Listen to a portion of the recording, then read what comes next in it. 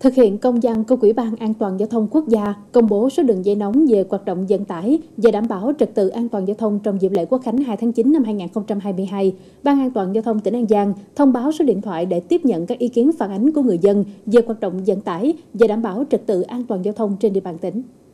Cụ thể, các số điện thoại Phòng Cảnh sát Giao thông Đường bộ 0984 208 826, 02963 942 942, Phòng Cảnh sát Đường Thủy 0989 005 786, Phòng Cảnh sát Quản lý Hành chính về Trật tự xã hội 0939 353 999, Thanh tra Sở Giao thông Vận tải 0919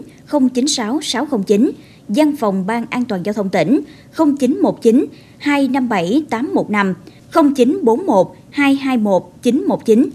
Đề nghị người tham gia giao thông trước khi phản ánh tới đường dây nóng cần có đầy đủ thông tin về thời gian, địa điểm, biển kiểm soát phương tiện, hành vi vi phạm hoặc vấn đề gây mất trật tự an toàn giao thông. Ưu tiên dùng tin nhắn để đảm bảo tính chính xác, thuận tiện, an toàn.